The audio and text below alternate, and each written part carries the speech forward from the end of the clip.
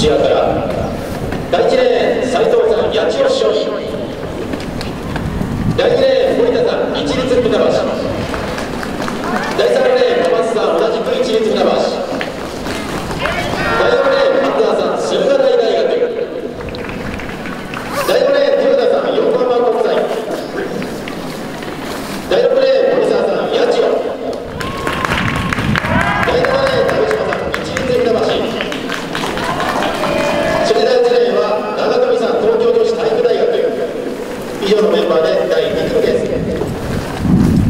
大山先生さあ横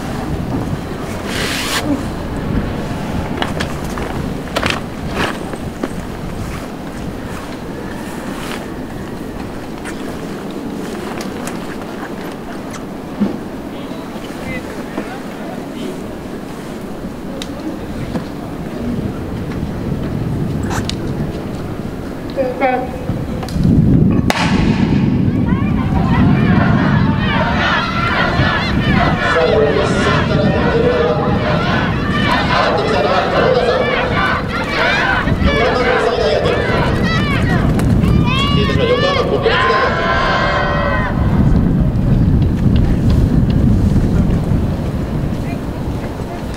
あ高校時代は成田高校。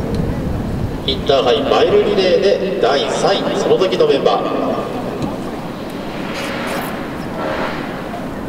さあ高校時代は多くの大会新記録をマークしております。豊田さん1着でフィニッシュ。ただいまの記録は向かい風1.5メートルの中第5レーンは豊田さん。12秒37の速報です。